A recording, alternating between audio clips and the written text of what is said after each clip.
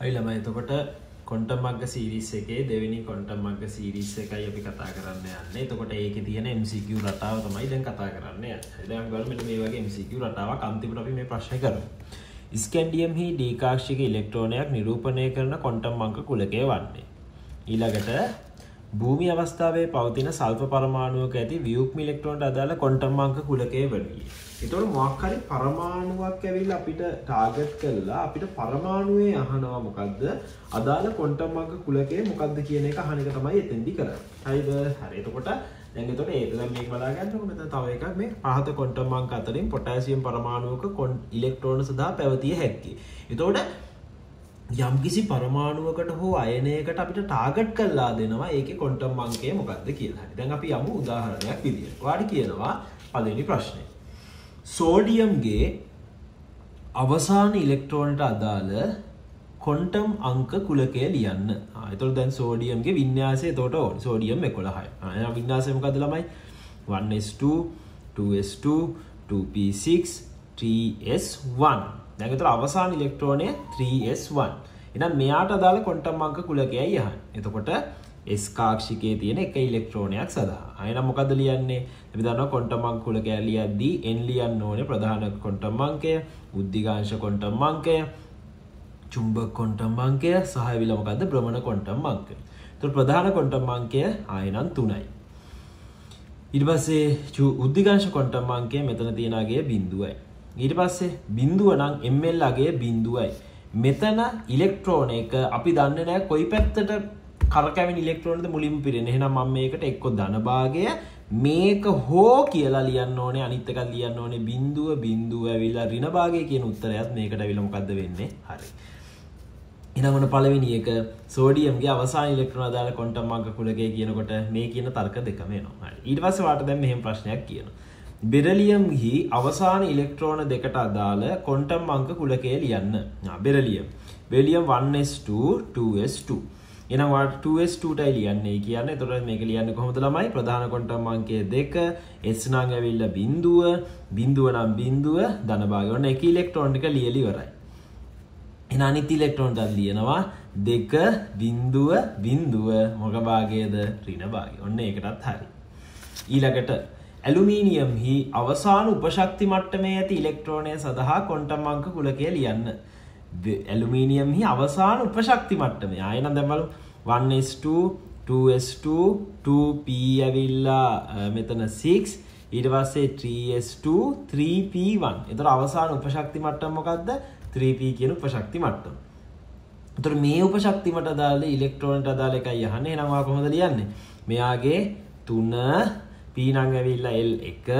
ඉවස පීවල අපි දන්නවා කාක්ෂික තුනක් තියෙන ඇබ අපි දන්න නෑ මේ කාක්ෂික මෙහෙමන දැන් පිරෙන් අපි දන්න නෑ මේකද මේකද මේකද මොකටද පිරෙන්න කියලා දන්න නෑ එහෙනම් එක මේක මහිතනවා රින එක නම් අන්න ධනභාගය කිය ලියන්න ඕන.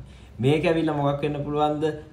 බින්දුව වෙන්න පුළුවන් ධනභාගය තුන එක මෙතන ධන එක ධනභාගය කියන්නේ මෙයා හෝ මෙයා මෙයා හෝ මෙයා. පැහැදිලි දේව තර්ක කරන විදිය ළමයි. හරිෝකේ ඉස්කැන්ඩියම්ගේ අවසාන ඉලෙක්ට්‍රෝනයට අදාළ ලියන්නේ කියෙන කොන්ටම් මග කුලකය. 1s2 2s2 2p6 3s2 3p6 ඉඩවස මෙතන 3D ඇවිල්ලා 1 මොහමයි එතකොට අවසාන ඩ කාක්ෂිකට ඩ ලෙක්ට්‍රෝන්ට අදාල කොට මඟ කුලකෑ යහන්න අය නමකද වෙන්න?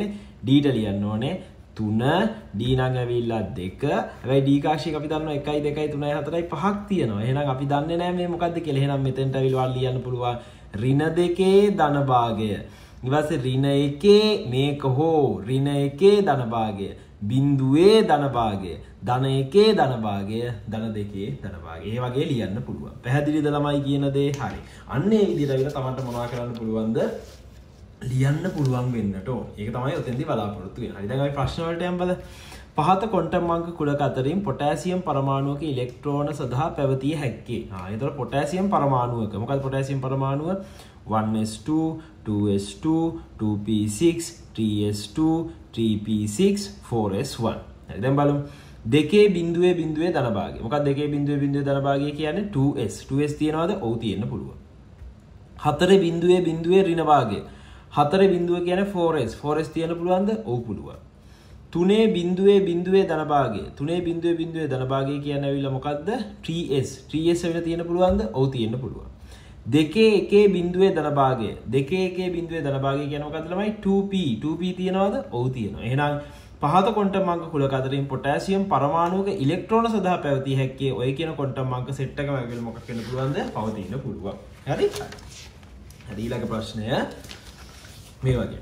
ස්කැන්ඩියම් හි ඩීකාක්ෂික ඉලෙක්ට්‍රෝනයක් නිරූපණය කිරීම සඳහා කරනු ලබන කොන්ටම් අංක කුලක තොට 3Dනේ 3D එහෙනම් දැන් අපි අපිට ලිව්වාගේ 3 D නම් ඇවිල්ලා මෙතන කීයද වෙන්න ඕනේ? දෙක. දැන් බලන්න එතකොට උත්තර විදිහට. හතර තියෙන උත්තර කපලා දැම්මා. තුනේ P වෙන්න බෑ 3P වෙන්න බෑ. එහෙනම් තුනේ දෙක. තුනේ දෙක වෙන්න පුළුවන්. එහෙනම් අන්න හරි. එතකොට තුනේ දෙකේ උත්තර දෙකක් තියෙනවා. දෙක නම් ළමයි මෙතන තියෙන්න ඕනේ. කීයද? ඍණ දෙක ඍණ එක බිඳුව ධන එක ධන දෙක. එතකොට මේකේ උත්තරේ මොකද්ද? උත්තරේ අංක 3 ඊළඟ ප්‍රශ්නය. අංක 14 වෙනි ප්‍රශ්නය. භූමි අවස්ථාවේ පවතින සල්ෆ පරමාණුවක ඇති ව්‍යුක්ම ඉලෙක්ට්‍රෝනට අදාළ කොන්ටම් අංක කුලකය වනුයේ. එතකොට සල්ෆ පරමාණුවක ඇති වියුක්ම ඉලෙක්ට්‍රෝනයක් සඳහා. එතට සල්ෆ පරමාණුව ගතුනි සල්ෆ දාසයයි 1s2 2s2 2p6 3s2 3p ඇවිල්ලා මෙතන කවුරු කියලෙනවාද? ෆෝ කියලා එන තුර මේ අපි ඇන්දොතින් හොඳර බලාගන්න. 3p මෙහම තොට එකයි දෙකයි තුනයි හතරක් නිසා මේක අනි පැත්තර පිරෙන තුර වියුප් මිලෙක්ට්‍රෝන කියන මෙන්න මේවා ගැනයි අහන්නේ. හොඳට අහගන්න. හරි? එන ඒක තියෙන්නේ 3p වල. දැන්හන්නේ වියුක්ම ඉලෙක්ට්‍රෝනයක අදාළ කොන්ටමංක කුලකය වනුයේ. හරි? තුනේ දෙක. දැම් මේක 3පීන 3පී නම් තුනේ එක වෙන්න එනම් මේ පලිනි උත්තර දෙකම අයින් කර. දෙවිනි උත්තරේ දෙක ඒක බෑ. ඒනම් අන්න උත්තර ඇවිලි කියද? උත්තරය අංක පහවෙන්නට ඕනේ. පැහැදිලිද? හරි. ඊළකට මෙන්න මේ ප්‍රශ්න. පොඩක් මේ ප්‍රශ්න විල හොදට හිතලා ලියන්න බාන මේ ප්‍රශ්න ලියාගන්න. පිහි වියුක්ම ඉලෙක්ට්‍රසොලි පිහි අවසාන කවචය ඇති. පොස්පරස්හි අවසාන කවචයේ ඇති.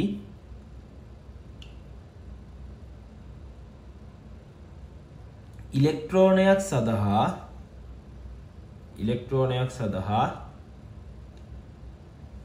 පැවතිය නොහැකි කොන්ටම් අංක කුලකය වනුයේ. පැවතිය නොහැකි කොන්ටම් අංක කුලකය වනුයේ. එතුර මේ ටික ලියාගෙන මට තීරණය කළ දෙන්න බාන්න මේ කියන ටිකෙන් පවතින්න බැරි කොන්ටමාක කුලගයක් තියෙනවා. කවුරුද කියන්න බන්න ඒකමට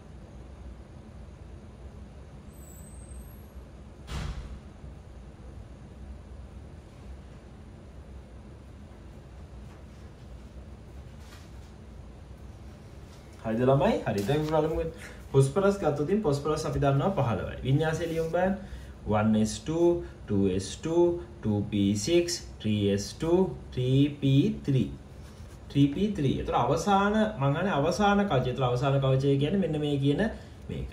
එතකොට මේකේ තුනේ බිඳුව තියෙන්න පුළුවන්. එතකොට තුනේ බිඳුව තුනේ බිඳුවේ බිඳුවේ ධන භාගය උ තියෙන්න පුළුවන්. අප මම මෙතන ලියලා තියෙනවා තුනේ බිඳුවේ බිඳුවේ ඍණ භාගය උ එක තියෙන්න පුළුවන්. 3p3 දැන් මේ 3p3 ගත්තොතින් කොහොමද 3p3 පිරීලා තියෙන්නේ මේ බලාගන්න එකම පැත්තට පිරීලා තියෙන එක. එන එකම පැත්තට පිරීලා නම් ඇවිල්ලා මොකද්ද වෙන්න ඕනද? ඔයාට තියෙන ඉලෙක්ට්‍රෝන භ්‍රමණ ටික ඇවිල්ලා මොකක් වෙන්න ඕනද? එකම පැත්තට තියෙන්න ඕනේ. භ්‍රමණ පැත්ත භ්‍රමණ ටික ඇවිල්ලා මොකක් වෙන්න ඕනද? එකම පැත්තට සමාන්තරව විහිදෙන්න ඕනේ. එහෙනම් ළමයි දැන් බලන්න ඔයාට 3p කියලා පරිවර්තන ඔයාට දීලා තියෙනවා සෙට් එකක්. දැන් එන නිරූපණය කළා බලන්න උතන 3Pගේ කොහොමද තියෙන දැන් තුනේ එකේ රින එකේ රින භාගය. ඔන්න රින පැත්තට තියෙනවා. තුනේ එකේ බින්දුවේ රින භාගය. එන රින පැත්තට තියෙනවා.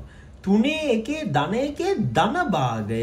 තුනේ එකේ ධන එකේ රින භාගය රිනභාගේව තුනක් තියෙනවා ධනභාගය එකක් තියෙනවා. එහනල්ලවයි තේරනවාද මේ තුන එකින එක ගැලපුනාට මේ රිනභාගේ රිනභාගේ රිනභාගකට ගැලපුනාට ධනභාගය ගැලපෙන්නේ නැහැ. එනම් පවතින්න බැරි ඇවිල කවුද? ධනභාගේ තියෙන කෙන. පැහැදිලිදේ පොයින්ට එක? හරි හරි.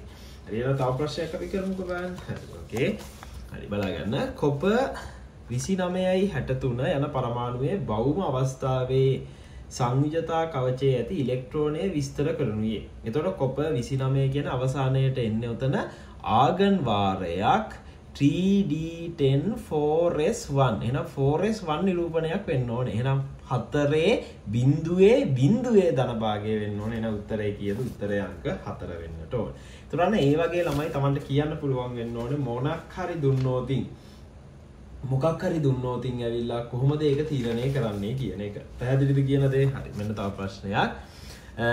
ස්කන්ඩියම් විසියක හතලිස්පා පරමාණුවේ භූමි අවස්ථාවේ පවතින වියුක්ම නොවූ ඉලෙක්ට්‍රෝනය විස්තර කිරීමට ගැන යුග්ම වූ නොවූ ඉලෙක්ට්‍රෝනය විස්තර කිරීම සඳහා භාවිතා කළ හැකි මෙන්න මේක. තොට 1s2 2s2 2p6 3s2 3p6 3d1 3d1 4s2 එත 3d1 නං 3 නං තුන ඩීනං දෙක දෙකේ ඇවිල තියෙන පුළුවන් ධනයක රින එක ඒ විදියට ධන දෙක ධන එක ඒ විදියට සෙට් එක තියෙන පුළුවන් එතකොට ඒකත් එක්ක තමයි ඊළඟට තීරණය කරන්නේ. එතකොට Tamanට ඔන්න ඔය වගේ ළමයි මොන හරි ප්‍රශ්නයක් දුන්නොත් ඇවිල්ලා Tamanට කියාගන්න පුළුවන් වෙන්න ඕනේ කොහොමද අදාළ පරමාණුවේ මොකද්ද ක්වොන්ටම් අංක කුලකය කියන එක. පැහැදිලිද කියන දේ හරි.